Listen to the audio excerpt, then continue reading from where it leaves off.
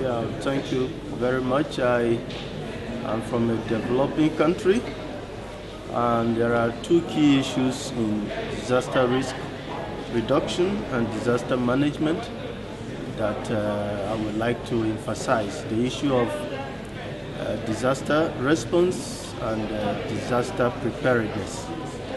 Uh, in developing countries, we have a lot of uh, vulnerable groups uh, the internally displaced people, uh, the aged, the poor, uh, the uh, physically uh, challenged. most of these people are also living in, uh, most of them living in vulnerable hotspots, areas like slums. Some are living in floodplains, some in mountainous areas, uh, some uh, even in coastal areas. And uh, you discovered that because of the high level of vulnerability, most of the times in, during time of disasters, these people are negatively affected.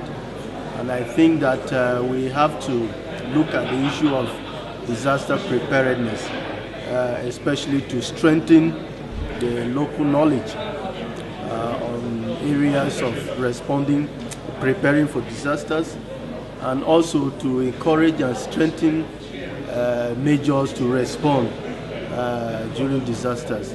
And then also we, we, we need to look at the, the issue of reducing vulnerability because most of these people depends on uh, primary production in agriculture, in uh, wood harvesting and, uh, and uh, uh,